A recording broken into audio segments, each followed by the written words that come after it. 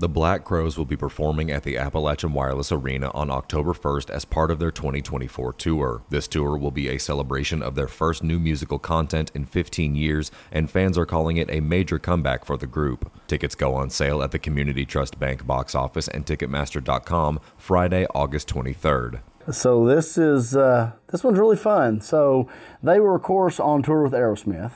Aerosmith, you know, retired and uh, Black Crowes had to pick up some dates. So luckily, we were the ones that they wanted to jump on. So fantastic. This one is going to be a fun show. They are a great time, great band. They do have a huge following in this area.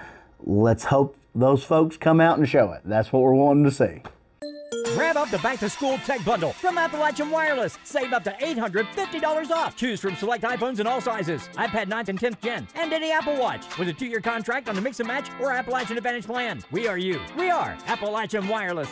As always, the Appalachian Wireless Arena makes an effort to provide entertainment for all types of audiences in the region. Fans of the Black Crowes can be found all over the country, and East Kentucky is no exception. I mean, it's great. I mean, that's what that's what we're looking to do. We're looking to have this diversity, have these these uh, um, really good artists. I mean, Black Crowes are great artists. They're they're legends, and you know, looking in bringing in not only country, rock, hip hop, comedy it the variety. That's the thing about it. What we're trying to do is, is variety. So hopefully that works, and we'll see how everyone responds to it because it goes on sale Friday. Reporting for Mountaintop News, I'm Nick Collum.